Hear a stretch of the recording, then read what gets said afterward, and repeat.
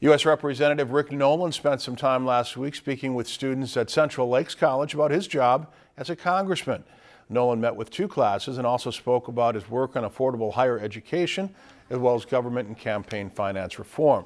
Uh, this was not a campaign stop for the congressman and this was not an active endorsement from CLC. Rather, both Central Lakes and Representative Nolan believe it's important to impress among young adults how to get involved and stay educated with local politics. Politics affects them, whether they like it or not. So, uh, you know, get involved in the politics of, of, of, your town, your community, your state, your nation, and try to make sure that whatever the government does or doesn't do, make sure that it's positive. It's a great opportunity for students of the American political process to get to speak to a congressman uh, in the intimate setting of a classroom and hear firsthand how things work in Congress. Nolan also held one of his final campaign events at the Northland Arboretum that night.